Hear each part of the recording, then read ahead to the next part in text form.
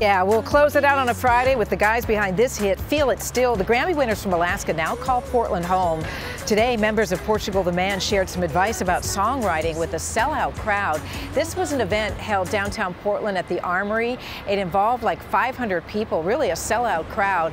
And it's for people who rely on being creative for a living. They call it Cre8con. And, uh, you know, they wanted to get together and just have an exchange of ideas things always come to me in the weirdest times. Like I'll be playing video games or watching a movie or whatever it is. I think we're all inspired by things around us. Feel It Still was, I mean, we have the melody from Mr. Postman. I mean, that's, that's really what started this whole thing. It was this melody from Mr. Postman that I had sung my whole life. Our office hours may be just going to a matinee movie or you know playing video games or literally doing the last thing besides sitting down and working on music is often when those ideas come.